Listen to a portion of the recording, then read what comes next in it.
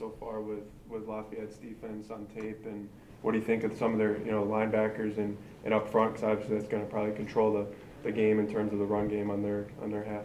I feel like uh, Lafayette is a good uh, a good team. I feel like those guys just, I feel like their front three always go hard. I mean, they always rotate in the front three to try to keep those guys fresh to get to the ball. I feel like the linebackers, they're, they're very big, physical guys. They they like to come downhill and, and hit you.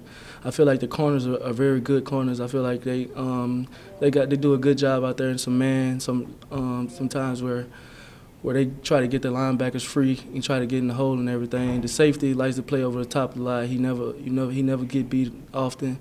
It's just they're just a good football team, just ready to go out there and experience it. How key will it be to, to establish that run game in the first quarter to, I guess, provide a little more space for the for the passing game to operate? Uh, it'll, it'll be good to uh, establish a run game very early. I mean, we've just been working hard in practice trying to polish some things up that we saw in Oklahoma and everything. But I feel like we get a running game going, you know, we, we'll be good. What do you think the biggest thing in terms of? Uh, I watched the film a couple times now. I'm sure you have, but you know the the holes. I guess some of them weren't there. You had to do a lot, try to do a lot yourself. What's the biggest thing to correct some of those and get everyone on the same page for for Saturday?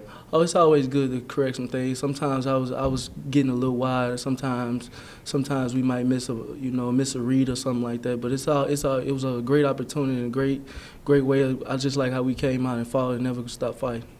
ULL's coach specifically talked about you in his press conference this week about how hard of a runner you are, and then he even talked about your your pass protection and how physical you are in the pass protection part of the game. Do you is that something you pride yourself on whenever it comes to pass protection? Yeah, I, uh, growing up, my dad always told me, well, "How great are you going to be without the ball?"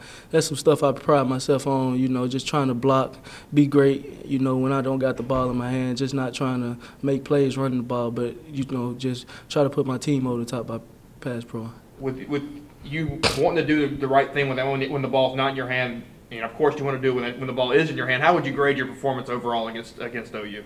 I feel like I did great. I had a couple MAs and I could have did a lot of things better, but overall I feel like I came out. I never stopped fighting and we played a tough game.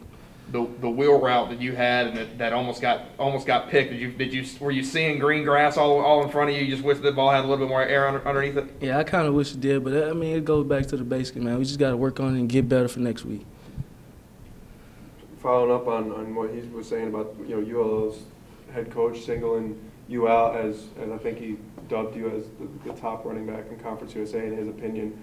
Um, what does that make you think, feel when you are kind of the focal point of opposing teams' defense and coaches, I guess, giving you that much respect on a week-to-week basis?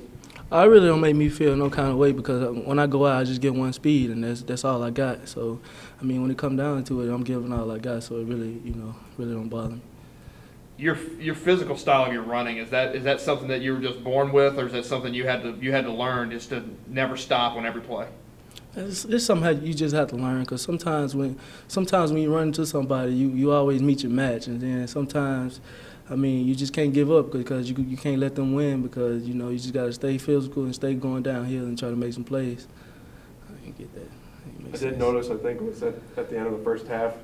I think you could have run out of bounds, but you bowled over a defender and got a couple extra yards. Coaches say anything to you about that? About getting out of bounds maybe instead of running someone over? Oh no, we have a rule that's in the running back room. It's called you can't go out of bounds. You can't go out of bounds no any circumstance. You just got to go get the tough yards. That's what I did. Who established that? Coach Luke. Y'all keep keep track of, of it at all, or whoever runs over anyone or anything like that, or y'all between between the running back group or anything? No, no, no.